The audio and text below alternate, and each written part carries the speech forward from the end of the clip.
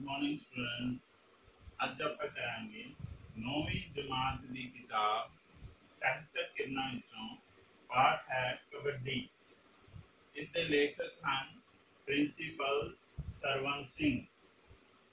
ਇਸ ਵਿੱਚ ਆਪਾਂ ਪਹਿਲੇ ਇਸ ਪਾਠ ਨੂੰ ਸੰਖੇਪ ਅਤੇ ਆਸਾਨ ਸ਼ਬਦਾਂ ਵਿੱਚ ਸਮਝਾਂਗੇ। ਉਸ ਤੋਂ ਬਾਅਦ ਇਸ ਪਾਠ ਦੇ ਦਿੱਤੇ ਪਿੱਛੇ ਪ੍ਰਸ਼ਨਾਂ ਦੇ ਉੱਤਰ ਅਤੇ ਹੋਰ ਜੋ ਵਿਆਕਰਣ ਦਾ ਕੰਮ ਦਿੱਤਾ ਹੈ, ਉਹ ਵੀ ਕਰਾਂਗੇ। ਪਰ ਇਸ ਤੋਂ ਪਹਿਲਾਂ ਕਿ ਆਪਾਂ ਇਹ ਵੀਡੀਓ ਸ਼ੁਰੂ ਕਰੀਏ ਤੁਹਾਡੇ ਵਿੱਚੋਂ ਅਗਰ ਕਿਸੇ ਨੇ ਮੇਰੇ ਚੈਨਲ ਨੂੰ ਸਬਸਕ੍ਰਾਈਬ ਨਹੀਂ ਕੀਤਾ ਹੈ ਤਾਂ ਇਸ ਨੂੰ ਸਬਸਕ੍ਰਾਈਬ ਕਰ ਲਓ ਤਾਂ ਕਿ ਜਦੋਂ ਵੀ ਇਸ ਤਰ੍ਹਾਂ ਦੀ ਕੋਈ ਨਵੀਂ ਵੀਡੀਓ ਮੈਂ ਪਾਵਾਂ ਤਾਂ ਤੁਹਾਨੂੰ ਇਸ ਦੀ ਸੂਚਨਾ ਮਿਲ ਸਕੇ ਅਤੇ ਤੁਸੀਂ ਇਸ ਤੋਂ ਲਾਭ ਉਠਾ ਸਕੋ ਤਾਂ ਚਲੋ ਸ਼ੁਰੂ ਕਰਦੇ ਹਾਂ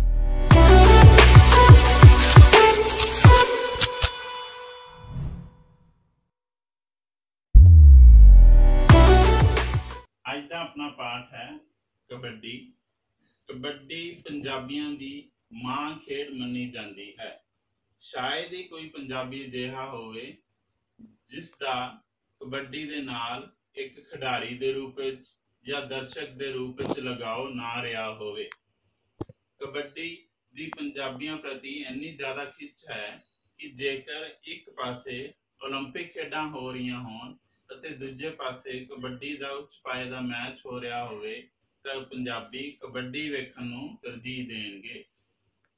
ਇਹ ਇਧਰਲੇ ਅਤੇ ਉਧਰਲੇ ਪੰਜਾਬ ਵਿੱਚ ਅਗਰ ਕਬੱਡੀ ਦਾ ਮੈਚ ਹੋਵੇ, ਤਾਂ ਕੋਈ ਵੀ ਵੱਡੇ ਤੋਂ ਵੱਡਾ ਸਟੇਡੀਅਮ ਨੱਕੋ ਨੱਕ ਭਰ ਜਾਵੇ। ਅੱਜ ਕੱਲ ਵੀ ਪੰਜਾਬ ਦੇ ਪਿੰਡਾਂ ਵਿੱਚ ਸਧਾਰਨ ਜਿਹੇ ਕਬੱਡੀ ਮੈਚਾਂ ਵਿੱਚ ਹਜ਼ਾਰਾਂ ਦਰਸ਼ਕ ਜੁੜ ਜਾਂਦੇ ਹਨ। 1974 ਈਸਵੀ ਵਿੱਚ ਜਦੋਂ ਪੰਜਾਬ ਦੀ ਕਬੱਡੀ ਦੀ ਟੀਮ ਇੰਗਲੈਂਡ ਦੇ ਵਿੱਚ ਰਹਿੰਦੇ ਪੰਜਾਬੀਆਂ ਨਾਲ ਕਬੱਡੀ ਖੇਡਣ ਗਈ, ਤਾਂ ਉੱਥੇ ਸਾਊਥ ਹਾਲ ਦਾ ਇੱਕ ਪਾਰਕ ਦਰਸ਼ਕਾਂ ਨਾਲ ਆਫਰ ਗਿਆ। ਗੋਰੇ ਹੈਰਾਨ ਸਨ ਕਿ ਇਹ ਇਹੋ ਜਿਹੀ ਖੇਡ ਹੈ, ਜਿਸ ਲਈ ਓਵਰ ਟਾਈਮ ਕਰਨ ਵਾਲੇ ਪੰਜਾਬੀ ਆਪਣੀ ਦਹਾੜੀਆਂ ਭੰਨ ਭੰਨ ਕੇ ਇਸ ਖੇਡ ਨੂੰ ਦੇਖ ਰਹੇ ਹਨ। ਕਬੱਡੀ ਪੰਜਾਬੀ ਸੱਭਿਆਚਾਰ ਦਾ ਅਨਿਖੜਵਾਂ ਅੰਗ ਹੈ।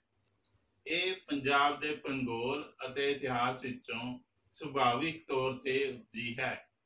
ਪੰਜਾਬ ਦੀ ਧਰਤੀ ਸਦੀਆਂ ਬੱਧੀ ਹੱਲਿਆਂ ਅਤੇ ਉਹਨਾਂ ਦੀਆਂ ਠੱਲਾਂ ਦਾ ਮੈਦਾਨ ਰਹੀ ਹੈ।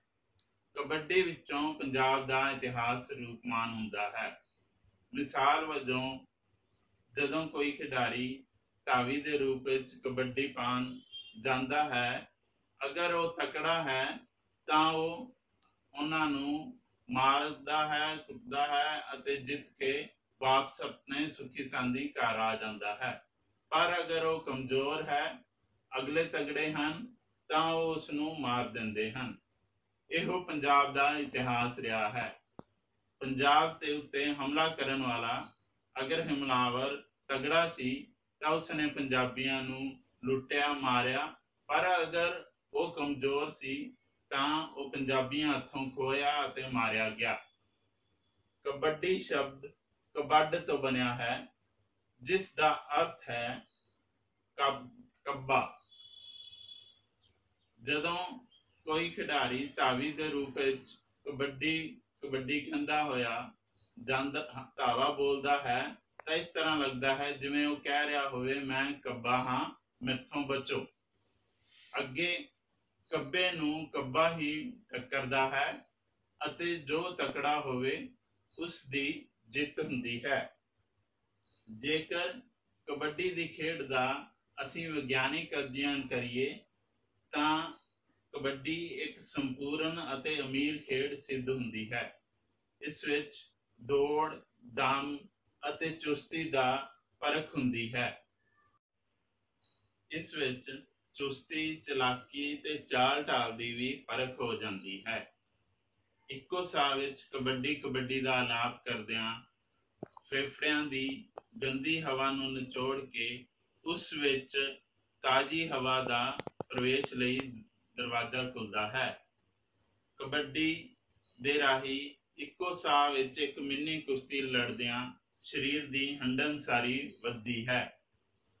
ਨਾਲ ਹੀ ਕਬੱਡੀ ਵਿੱਚ ਹਿੰਮਤ ਨਾ ਹਾਰਨ ਦਾ ਸਿਰੜ ਜੋ ਹੈ, ਸਾਨੂੰ ਹਮੇਸ਼ਾ ਆਪਣੀ ਜ਼ਿੰਦਗੀ ਵਿੱਚ ਔਖੇ ਸਮੇਂ ਵਿੱਚ ਹਿੰਮਤ ਰੱਖਣ ਦਾ ਹੌਸਲਾ ਦਿੰਦਾ ਹੈ। ਕਬੱਡੀ ਦਾ ਇੱਕ ਵਿਸ਼ੇਸ਼ ਰੂਪ ਸੋਚੀ ਪੱਕੀ ਹੈ। ਸੋਚੀ ਪੱਕੀ ਤੋਂ ਹੀ ਕਬੱਡੀ ਦੇ ਹੋਰ ਰੂਪ ਵਿਕਸਿਤ ਹੋਏ ਹਨ। ਚੁੱਪ ਕੋਡੀ ਜਾਂ ਗੁੰਗੀ ਕੋਡੀ, ਜਿਸ ਨੂੰ ਅੰਮ੍ਰਿਤਸਰੀ ਕੋਡੀ ਵੀ ਕਿਹਾ ਜਾਂਦਾ ਸੀ, ਕਬੱਡੀ ਦੀ ਇੱਕ ਕਿਸਮ ਹੈ। ਇਸ ਵਿੱਚ ਮਾਰ ਕੁਟਾਈ ਬਹੁਤ ਜ਼ਿਆਦਾ ਹੁੰਦੀ ਸੀ। ਅੰਬਾਲਵੀ ਕੋਡੀ ਵਿੱਚ ਕਬੱਡੀ ਦਾ ਦਾਇਰਾ ਬਹੁਤ ਤੰਗ ਹੁੰਦਾ ਸੀ, ਜਿਸ ਵਿੱਚ ਧਾਵੀ ਨੂੰ ਇੱਕ ਤੋਂ ਬਾਅਦ ਇੱਕ ਜਾਫੀ ਪਕੜਨ ਦੀ ਕੋਸ਼ਿਸ਼ ਕਰਦਾ ਸੀ। ਲਾਇਲਪੁਰੀ ਕੋਡੀ ਵਿੱਚ ਖੇਡ ਦੇ ਦੌਰਾਨ ਖਿਡਾਰੀ ਨੂੰ ਪਾਣੀ ਦੀ ਇੱਕ ਘੁੱਟ ਵੀ ਨਹੀਂ ਪੀਣ ਦਿੱਤੀ ਜਾਂਦੀ ਸੀ। ਫਿਰੋਜ਼ਪੁਰੀ ਕੋਡੀ ਵਿੱਚ ਖਿਡਾਰੀ ਹੰਦਿਆਂ ਤੋਂ ਕਾਫੀ ਦੂਰ ਢੇਰੀਆਂ ਉੱਤੇ ਖੜੇ ਹੁੰਦੇ ਸਨ। ਪੀਰ ਕੋਡੀ ਧਨ ਪੋਠੋਹਾਰ ਦੇ ਇਲਾਕੇ ਵਿੱਚ ਖੇਡੀ ਜਾਂਦੀ ਸੀ। ਇਸ ਤੋਂ ਇਲਾਵਾ ਚੀਰਵੀ ਕੋਡੀ, ਲੰਮੀ ਕਬੱਡੀ, ਘੋੜ ਕਬੱਡੀ, ਦੁੱਧ ਤੇ ਬੁਰਜਿਆਂ ਵਾਲੀ ਕਬੱਡੀ ਕਬੱਡੀ ਦੀਆਂ ਹੋਰ ਸਥਾਨਕ ਵੰਨਗੀਆਂ ਹਨ। ਪਰ ਹੁਣ ਇਹਨਾਂ ਸਾਰੀ ਕਬੱਡੀਆਂ ਦਾ ਰੂਪ ਦਾਇਰੇ ਵਾਲੀ ਕਬੱਡੀ ਨੇ ਲੈ ਲਿਆ ਹੈ।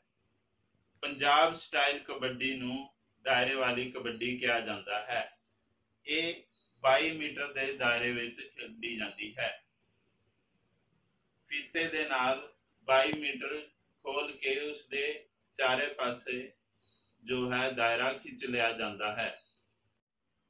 ਵਿਚਕਾਰ ਇੱਕ ਸਿੱਧੀ ਲਾਈਨ ਲਗਾ ਕੇ ਪਾੜਾ ਬਣਾ ਦਿੱਤਾ ਜਾਂਦਾ ਹੈ। ਕਬੱਡੀ ਦੀ ਟੀਮ ਵਿੱਚ 14-14 ਖਿਡਾਰੀ ਹੁੰਦੇ ਹਨ, ਜਿਸ ਵਿੱਚੋਂ 4-4 ਖਿਡਾਰੀ ਰਾਖਵੇਂ ਹੁੰਦੇ ਹਨ। ਕਬੱਡੀ ਦੀ ਖੇਡ ਦਾ ਸਮਾਂ 20 5-20 ਮਿੰਟ ਹੁੰਦਾ ਹੈ ਅਤੇ ਟੌਸ ਕਰਕੇ ਫੈਸਲਾ ਕੀਤਾ ਜਾਂਦਾ ਹੈ। ਫਿਰ ਜਿਸ ਟੀਮ ਨੂੰ ਸਭ ਤੋਂ ਜ਼ਿਆਦਾ ਅੰਕ ਮਿਲਦੇ ਹਨ, ਉਹ ਟੀਮ ਜੇਤੂ ਕਰਾਰ ਦਿੱਤੀ ਜਾਂਦੀ ਹੈ। ਜੇਕਰ ਟੀਮ ਦੇ ਵਿੱਚ ਅੰਕਾਂ ਦੀ ਬਰਾਬਰੀ ਹੋਵੇ, ਤਾਂ ਪਹਿਲੀ ਟੀਮ ਜਿਸ ਨੇ ਕੀ ਪਹਿਲਾ ਅੰਕ ਲਿਆ ਹੈ ਉਸ ਨੂੰ ਜੇਤੂ ਕਰਾਰ ਦੇ ਦਿੱਤਾ ਜਾਂਦਾ ਹੈ। ਖੇਡ ਅਦਾਰਿਆਂ ਵੱਲੋਂ ਪੰਜਾਬ ਵਿੱਚ ਕਬੱਡੀ ਇੰਨੀ ਹਰਮਨ ਪਿਆਰੀ ਹੋਣ ਦੇ ਬਾਵਜੂਦ ਇਸ ਵੱਲ ਇੰਨਾ ਧਿਆਨ ਨਹੀਂ ਦਿੱਤਾ ਜਾਂਦਾ, ਜਿੰਨਾ ਕਿ ਪੱਛਮ ਦੀਆਂ ਖੇਡਾਂ ਨੂੰ ਦਿੱਤਾ ਜਾਂਦਾ ਹੈ।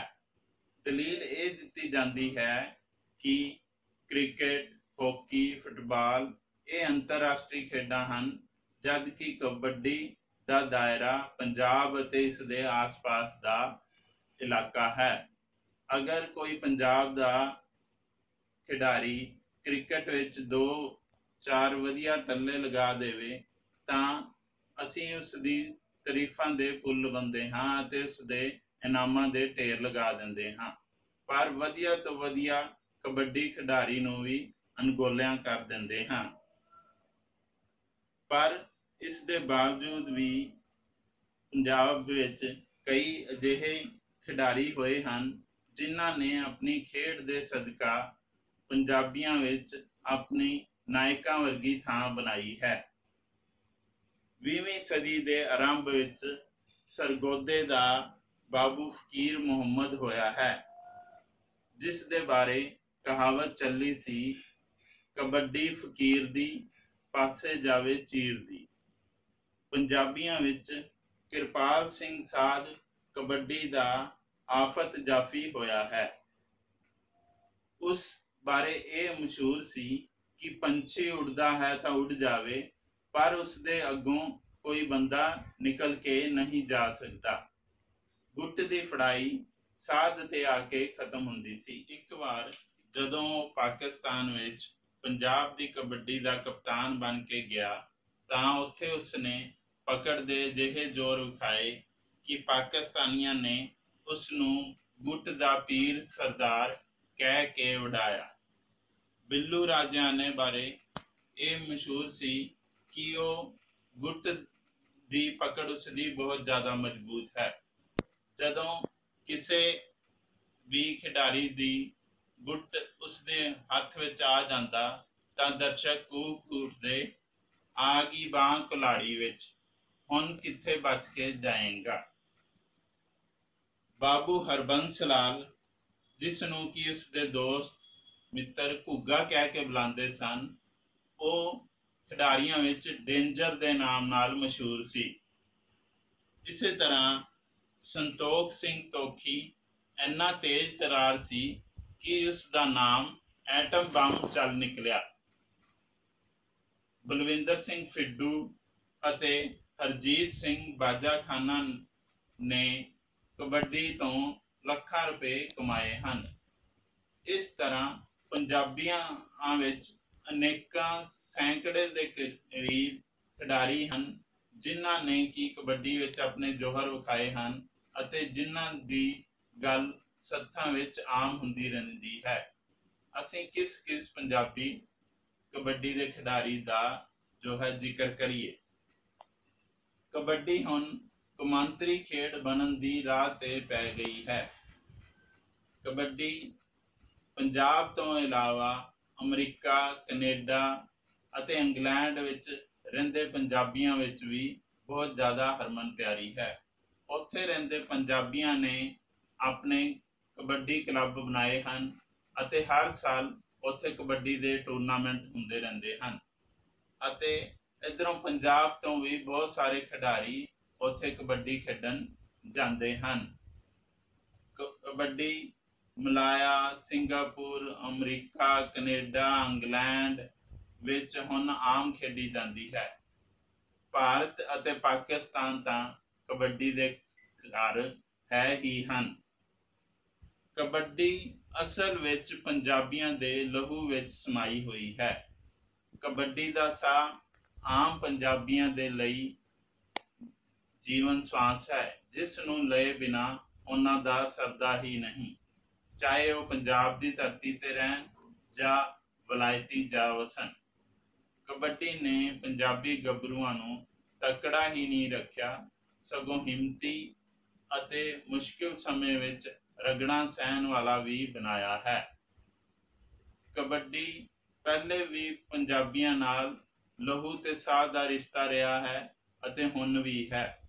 ਚਾਹੇ ਪੰਜਾਬ ਵਿੱਚ ਅਨੇਕਾਂ ਪੱਛਮੀ ਖੇਡਾਂ ਪ੍ਰਚਲਿਤ ਹੋ ਗਈਆਂ ਹਨ, ਪਰ ਜੋ ਥਾਂ ਕਬੱਡੀ ਨੂੰ ਪੰਜਾਬੀਆਂ ਵਿੱਚ ਮਿਲੀ ਹੈ, ਉਹ ਹੋਰ ਕਿਸੇ ਖੇਡ ਨੂੰ ਨਹੀਂ ਮਿਲੀ।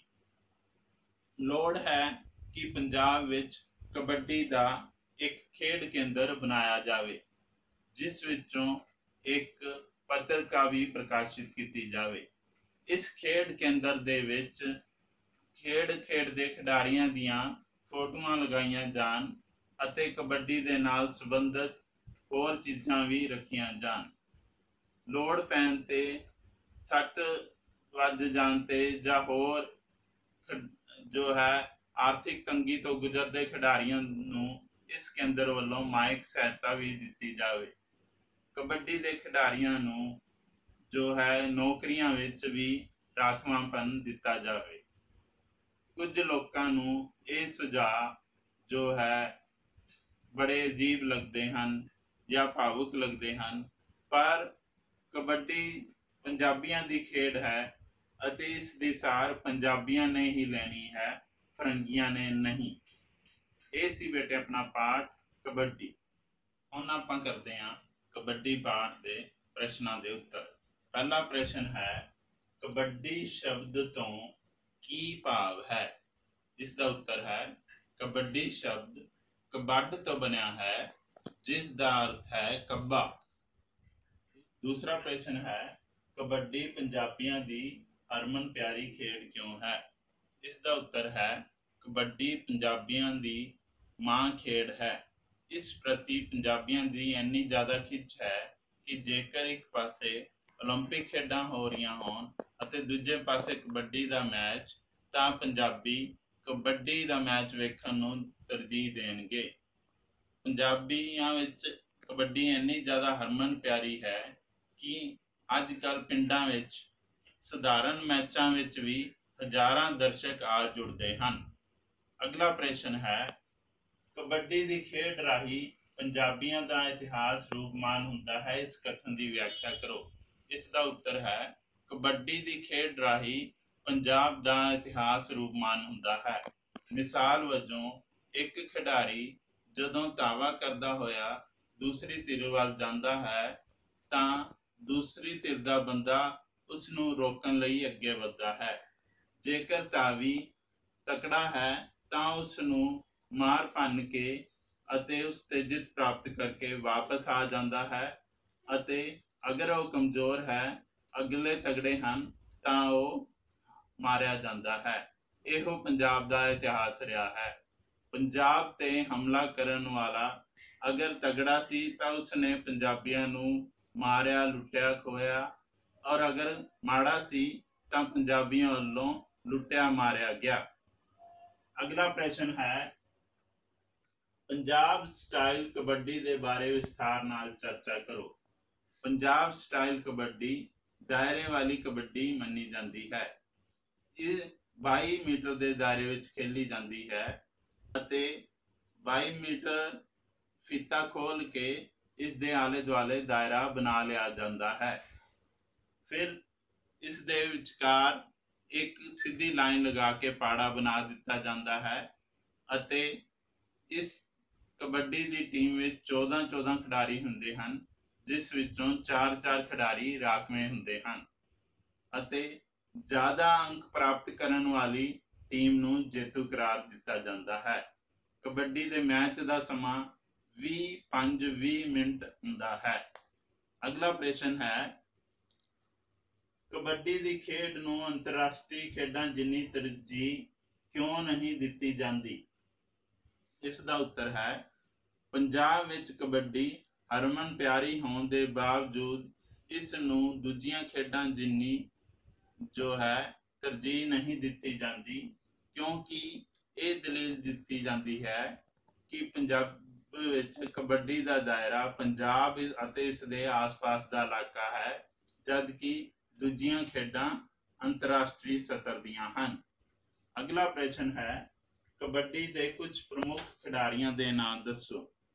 ਇਸ ਦੇ ਉੱਤਰ ਵਿੱਚ ਤੁਸੀਂ ਖਿਡਾਰੀਆਂ ਦੇ ਕੁਝ ਨਾਮ ਲਿਖੇ ਨੇ ਹਨ, ਜਿਸ ਵਿੱਚ ਤੁਸੀਂ ਨਾਮ ਲਿਖ ਸਕਦੇ ਹੋ, ਬਾਬੂ ਫਕੀਰ ਮੁਹੰਮਦ, ਕਿਰਪਾਲ ਸਿੰਘ ਸਾਧ, ਤੀਸਰਾ ਹੈ ਬਿੱਲੂ ਰਾਜਿਆਨਾ ਚੌਥਾ ਹੈ ਸੰਤੋਖ ਸਿੰਘ ਤੋਖੀ, ਇਸ ਤੋਂ ਇਲਾਵਾ ਬਲਵਿੰਦਰ ਸਿੰਘ ਫਿੱਡੂ ਅਤੇ ਹਰਜੀਤ ਸਿੰਘ ਬਾਜਾਖਾਨਾ ਦਾ ਨਾਮ ਲਿਖਿਆ ਜਾ ਸਕਦਾ ਹੈ। ਅਗਲਾ ਪ੍ਰਸ਼ਨ ਹੈ ਗੁੱਟ ਦਾ ਪੀਰ ਸਰਦਾਰ ਕਿਸ ਨੂੰ ਕਿਹਾ ਗਿਆ ਹੈ ਤੇ ਕਿਉਂ?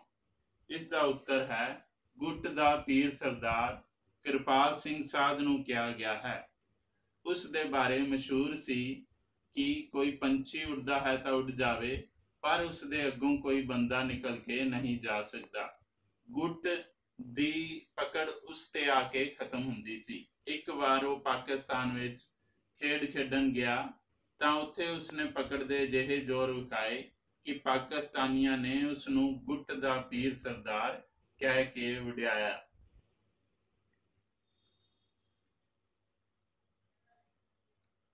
ਅੱਗੇ ਹੈ, ਪਾਠ ਦੇ ਆਧਾਰ ਤੇ ਠੀਕ ਅੱਗੇ ਟਿਕ ਤੇ ਗਲਤ ਅੱਗੇ ਕ੍ਰੋਸ ਦਾ ਨਿਸ਼ਾਨ ਬਣਾਓ।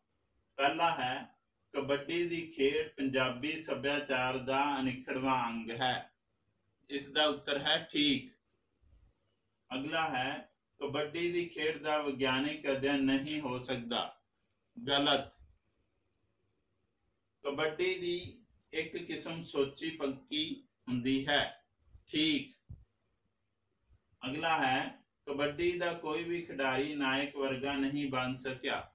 ਇਸ ਦਾ ਉੱਤਰ ਹੈ ਗਲਤ। ਕਬੱਡੀ ਵੇਖਣ ਲਈ ਸਾਊਥ ਹਾਲ ਦਾ ਪਾਰਕ ਦਰਸ਼ਕਾਂ ਨਾਲ ਭਰ ਗਿਆ ਸੀ ਠੀਕ ਇਸ ਤੋਂ ਅੱਗੇ ਹੈ ਖਾਲੀ ਥਾਵਾਂ ਭਰੋ ਇਸ ਦੇ ਉੱਤਰ ਜੋ ਹੈ ਇਸ ਬਾਕਸ ਵਿੱਚ ਦਿੱਤੇ ਹੋਏ ਹਨ ਪਹਿਲਾ ਹੈ ਪੰਜਾਬੀ 올림픽 ਖੇਡਾਂ ਨਾਲੋਂ ਡੈਸ਼ ਵੇਖਣ ਨੂੰ ਤਰਜੀਹ ਦਿੰਦੇ ਹਨ ਇਸ ਦਾ ਉੱਤਰ ਆਣਾ ਹੈ ਕਬੱਡੀ ਦੂਸਰਾ ਹੈ ਕਬੱਡੀ ਪਾਉਣ ਵਾਲੇ ਨੂੰ ਡੈਸ਼ ਆਖਦੇ ਹਨ। ਇਸ ਦਾ ਉੱਤਰ ਆਣਾ ਹੈ ਧਾਵੀ। ਤੀਸਰਾ ਹੈ, ਕਬੱਡੀ ਦੀ ਖੇਡ ਨੂੰ ਡੈਸ਼ ਦੀ ਮਾਂ ਖੇਡ ਮੰਨਿਆ ਜਾਂਦਾ ਹੈ। ਇਸ ਦਾ ਉੱਤਰ ਆਣਾ ਹੈ ਪੰਜਾਬੀਆਂ। ਚੌਥਾ ਹੈ, ਭਾਰਤ ਤੇ ਪਾਕਿਸਤਾਨ ਕਬੱਡੀ ਦੇ ਡੈਸ਼ ਹਨ। ਇਸ ਦਾ ਉੱਤਰ ਆਣਾ ਹੈ ਘਰ। ਅੱਗੇ ਹੈ ਕਬੱਡੀ ਦੀ ਖੇਡ ਦੀਆਂ ਨਿਸ਼ਾਨੀਆਂ ਸੰਭਾਲਣ ਲਈ ਡੈਸ਼ ਦੀ ਲੋੜ ਹੈ। ਇਸ ਦਾ ਉੱਤਰ ਆਣਾ ਹੈ ਗੈਲਰੀ। ਇਸ ਤੋਂ ਬਾਅਦ ਆਪਾਂ ਕਰਾਂਗੇ ਜੋੜੇ ਬਣਾਓ। ਇਹਨਾਂ ਨੂੰ ਮੈਚ ਕਰਨਾ ਹੈ। ਚੌਧਰੀ ਮੁਹੰਮਦ ਸਦੀਕ। ਇਸ ਨੂੰ ਮੈਚ ਕਰਨਾ ਹੈ ਤੂਫਾਨ ਮੇਲ ਧਾਵੀ। ਦੂਸਰਾ ਹੈ ਕਿਰਪਾਲ ਸਿੰਘ ਸਾਧ। ਇਸ ਨੂੰ ਮੈਚ ਕਰਨਾ ਹੈ ਗੁੱਟ ਦਾ ਪੀਰ ਸਰਦਾਰ। ਸਾਧ ਸਰਦਾਰ, ਇਹ ਯਾਦ ਰੱਖਣਾ, ਗੁੱਟ ਦਾ ਪੀਰ ਸਰਦਾਰ। ਬਾਬੂ ਹਰਬੰਸ ਲਾਲ ਇਸ ਨੂੰ ਮੈਚ ਕਰਨਾ ਹੈ ਡੇਂਜਰ ਅੱਗੇ ਹੈ ਸੰਤੋਖ ਸਿੰਘ ਤੋਖੀ ਇਸ ਨੂੰ ਮੈਚ ਕਰਨਾ ਹੈ ਐਟਮ ਬੰਬ ਆਖਰ ਵਿੱਚ ਆਪਾਂ ਕਰਾਂਗੇ ਵਿਰੋਧੀ ਸ਼ਬਦ। ਇਹ ਪਹਿਲਾ ਹੈ ਪਰਤਨਾ ਪਰਤਨਾ ਦਾ ਮਤਲਬ ਹੁੰਦਾ ਹੈ ਵਾਪਸ ਆਣਾ ਤਾਂ ਇਸ ਦਾ ਵਿਰੋਧੀ ਸ਼ਬਦ ਹੈ ਜਾਣਾ ਦੂਸਰਾ ਹੈ ਚੁਸਤ ਇਸ ਦਾ ਵਿਰੋਧੀ ਸ਼ਬਦ ਸੁਸਤ ਫਿਰ ਹੈ ਵਧੀਆ ਵਿਰੋਧੀ ਸ਼ਬਦ ਹੈ ਇਸ ਦਾ ਘਟੀਆ ਅੱਗੇ ਹੈ ਫੜਨਾ ਫੜਨਾ ਦਾ ਵਿਰੋਧੀ ਸ਼ਬਦ ਹੈ ਛੱਡਣਾ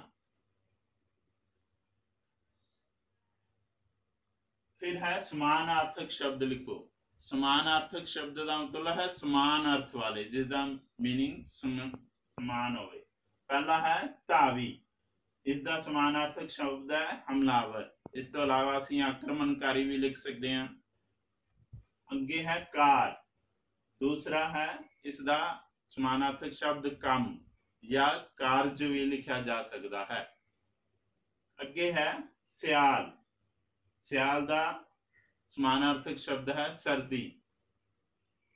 ਅੱਗੇ ਹੈ ਲਗਾਓ। ਲਗਾਓ ਦਾ ਸਮਾਨਾਰਥਕ ਸ਼ਬਦ ਹੈ ਪਿਆਰ ਜਾਂ ਮੋਹ ਵੀ ਲਿਖਿਆ ਜਾ ਸਕਦਾ ਹੈ। ਇਹ ਸੀ ਬੇਟੇ ਆਪਣਾ ਪਾਠ, ਕਬੱਡੀ।